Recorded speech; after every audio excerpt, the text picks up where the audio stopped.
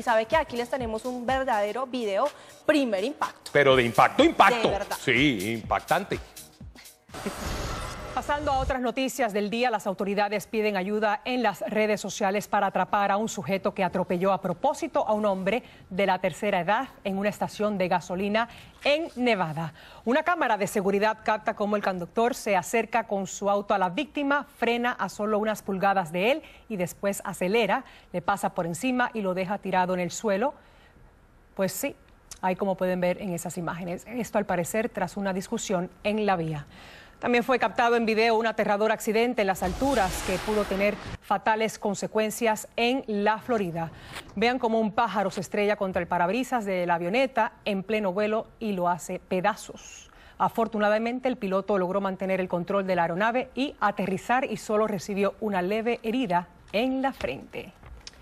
A manos de la justicia fue a parar un conductor que desató el caos en una autopista, eso fue en California.